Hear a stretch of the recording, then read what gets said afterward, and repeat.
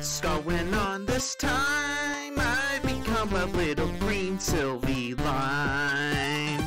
What's got you moving so fine? Dancing to the rhythm of a Sylvie Lime.